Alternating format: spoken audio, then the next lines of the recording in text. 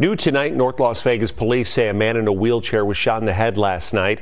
It started around 9 p.m. near North Las Vegas Boulevard and 5th Street.